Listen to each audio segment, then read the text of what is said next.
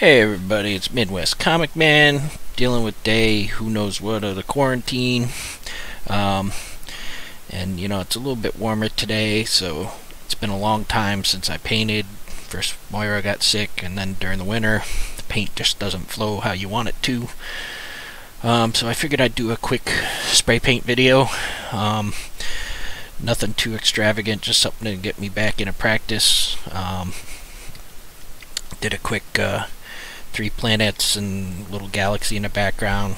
Um, I did in the background for the galaxy use uh, fluorescent paint. It's the first time I've done that, so I'll have to check it out under a black light later. Um, but you know, it took only like I think 14 minutes to do the whole painting. Um, did a little time lapse video of it, so here we go.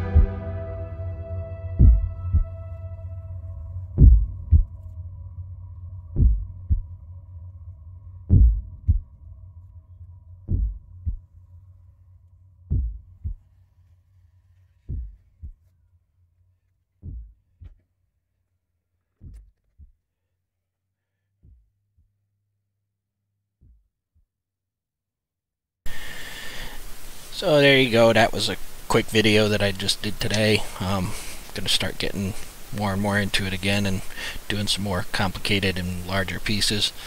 Um, but just wanted to get that one out there as the first one in my series.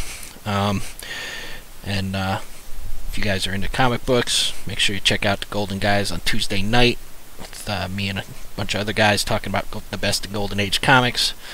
And uh, that'll be on the Comic Corps channel. And Comic Corps has live shows pretty much every night during the week, so check them out. And uh, till then, is Midwest Comic Man. See you in the funny pages.